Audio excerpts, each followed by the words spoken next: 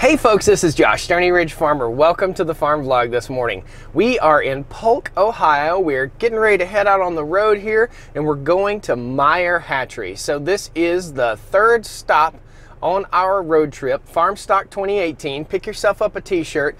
Last night, all the baby chicks hatched. It's a family operation here in Polk, Ohio. Meyer Hatchery. We're gonna go and see what the baby chick hatch day is all about. So come along today on the farm vlog. We're gonna have some fun. We're gonna learn something and we're gonna see what a family owned hatchery is like. And we'll talk to them a little bit. All right, let's have some fun. Woo! This successful life we're living's got us feuding like the Hatfields and the Gold.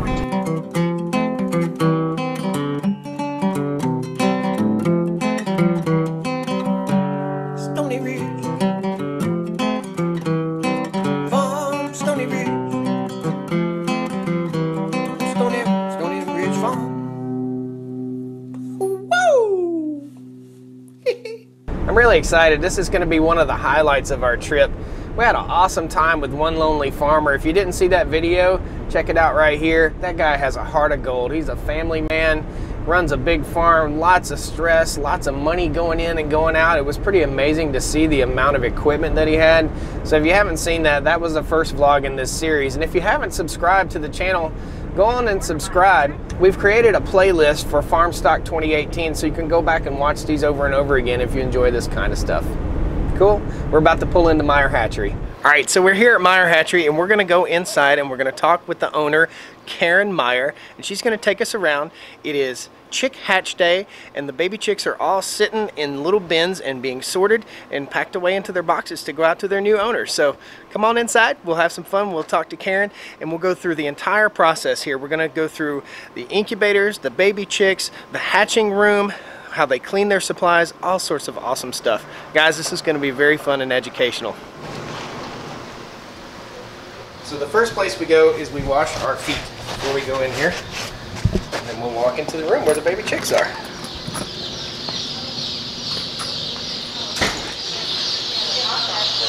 Now guys, this is a total behind the scenes thing that you would never ever ever have the opportunity to see. This is a family operation. It's all hand done. Everything is done by hand. No automation. It's really awesome. So let's go interview Karen.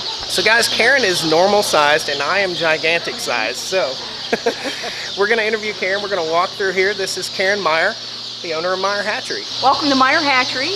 And what you're looking at right here behind me is the shipping department.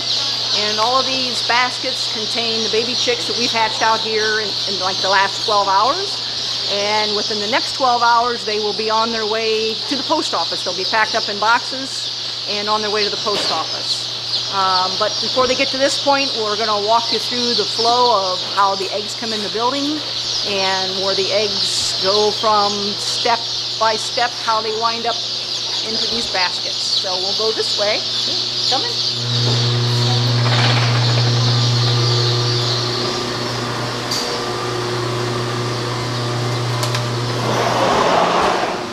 Okay, so the eggs stay at the breeder houses uh, for a week. Every week we go to pick the eggs up. They remain, uh, of course, sorted by breed, kept uh, in boxes, kept in a cool area over in the breeder houses. Uh, each breeder house holds about 5,000 birds, up to 20 to 30 different breeds in each building. Um, so every week then our driver goes over there and the eggs are already packed in the boxes and ready to come over to here. So they, they come in in 30 cases, uh, 30 dozen eggs in a box like this. Every box is very identified with the breed that's in it, the quantity that's in it. And so from, from the boxes then, the eggs are set with a pneumatic lift um, onto these setter trolleys. And each tray here would contain the eggs, uh, pointed end down, and 132 eggs on each one of these trays. 30, 36 on a cart, and there are of these carts then will go into one of our setters. Once the eggs get on these carts, they remain in here until we're ready to put them into the setters. So they come in on a Thursday, then they wind up in the incubators uh, on late on Sunday evening. So these are the setters right here. We have uh, 12 of them all together, and each machine holds 19,004 eggs. And so the eggs come in on those carts into the setters and we have to keep track of every breed. We keep track of the total number of eggs that come in from each breed, and then they wind up on those carts, and each cart, you know, has a tag that identifies the egg on there, and then we identify that into the machine. So this machine uh, has the broilers and bantams and cochins and some miscellaneous. Uh, so these went in on September 10th. It says right there, that's Dewey's birthday. That's my husband, so he's gonna, the birthday on September 10th. Went in at 7 p.m. The machine was set to turn on at 10 p.m. on Sunday, so they have an automatic start on these, a delayed start. So once they're in here, then they turn, turn every hour. So I'll show you the level position. That, so there's, there's four parts in here. Level position, and then it goes to auto, and it turns every hour.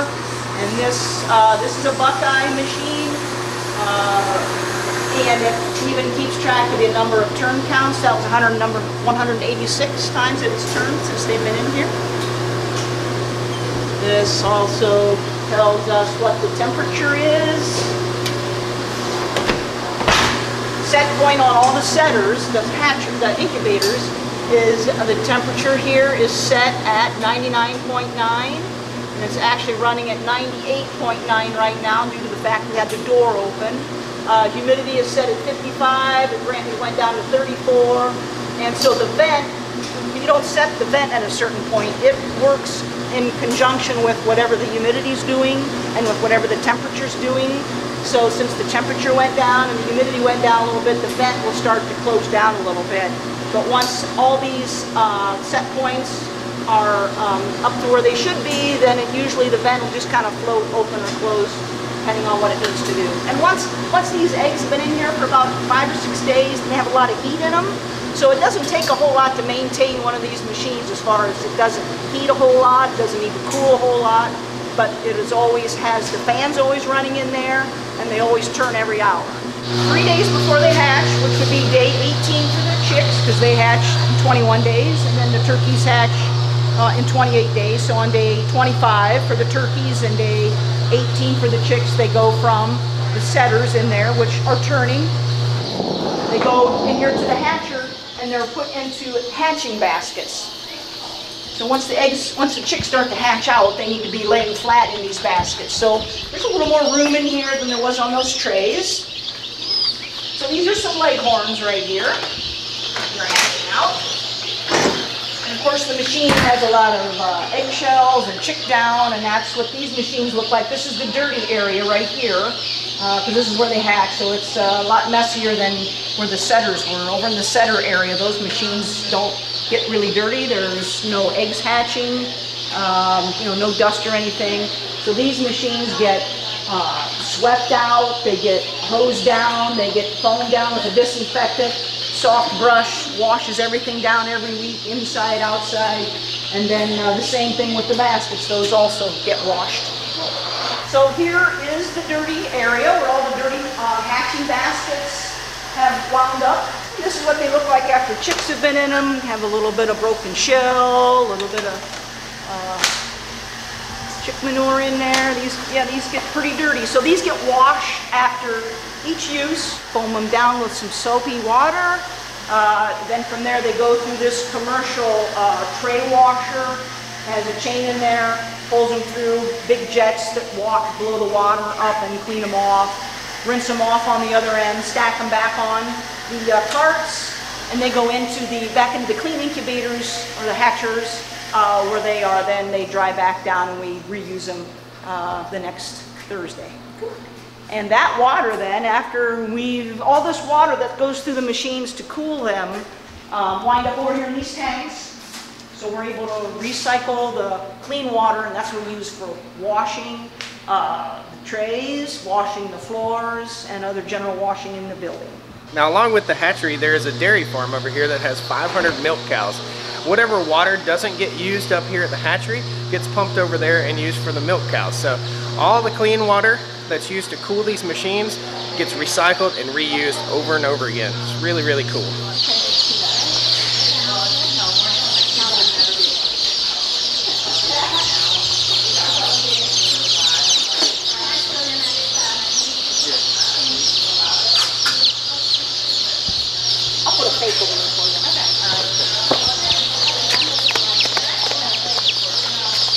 Guys, this is Megan. Megan is The website manager. website manager for Meyer Hatchery. So this is a young lady we've been working with throughout all of our videos with Meyer Hatchery, showing you how to raise your chicks. So we're going to show you right now how the order process goes. So we're going to go from printing to boxing to finding the right birds and show you exactly how it's all done. So basically we print our label here first. This is a small order. Meyer Hatchery can do as few as three. So we're going to get a full nest box. So this is a full nest whenever you do a small order. If you have more birds in it, you might see a half nest like this. And then you have lots of birds on your order, this is no nest, and it's just the bedding in the bottom because they create a lot of their own body heat. That's it. So it's just that simple. It's all done by hand. You put your order in, a ticket prints off, it gets on the top of the box. These folks go in, they pack the birds away, they put the label on it, they make sure that they're cared for, and that's the main thing. The birds are cared for by people that actually care about your birds. It's not done by some machine that's dropping your bird on a conveyor belt.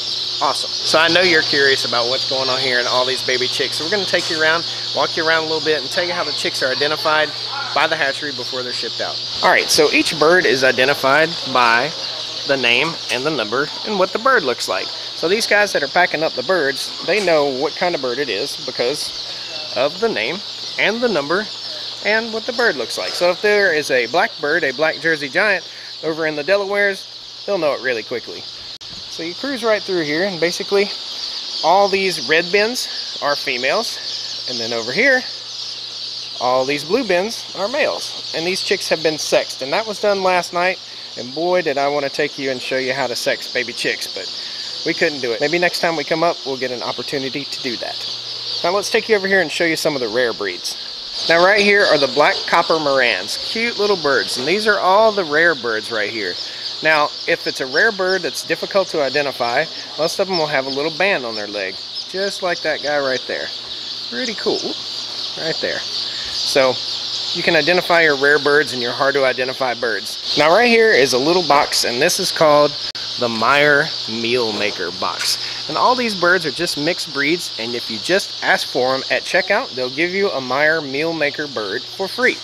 Now the deal is if you order a Meyer Meal Maker bird, then you have to donate the eggs or donate the meat to help feed the hungry.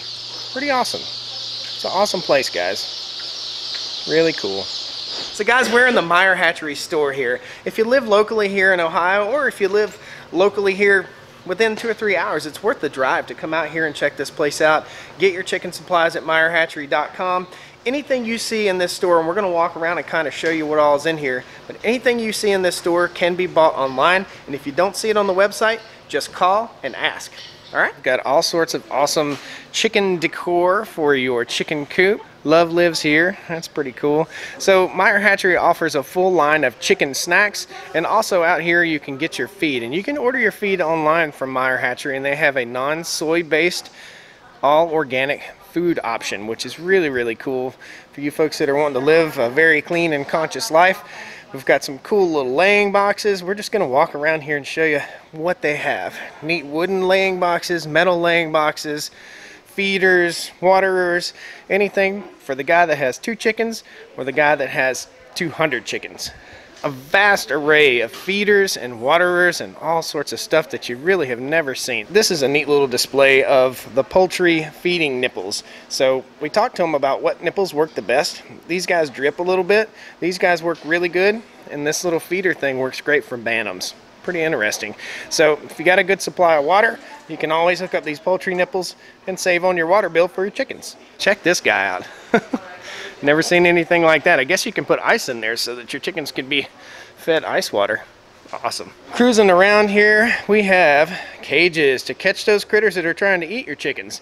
We also have an awesome little brooder box here, and this is for baby chicks if you hatch them out yourself, a little brooder box. Right over here, I want to show you these are our brooder lamps and brooder area. And here are some turkeys in the brooder. Cute little guys. Squeeze in tight like we're all friends. We know each other way back. Guys, I want to thank you a whole lot for coming to Meyer Hatchery today. We're having some fun here on the hatchery. Come on and check us out next time on the Stoney Ridge Farm channel and enjoy this Farm Stock 2018 road trip. All right? See you next time. Woo! Country life is wild and dream and it's becoming a part of me alright. Woo!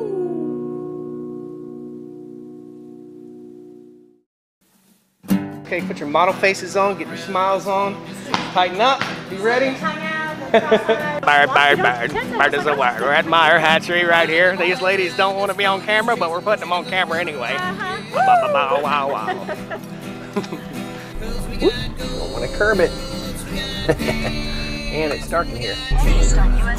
Well, east has got to be right because the sun's going that way. It's like I'm piloting a ship across the sea. I know which way east is. Google. Make a U-turn. you want a fun travel buddy? Folks, this is one of the... Guess what? Uh, Now I'm really gonna feel short. Selfie angle, hello. squeeze in tight like we're all friends. We know each other from way back. Woo!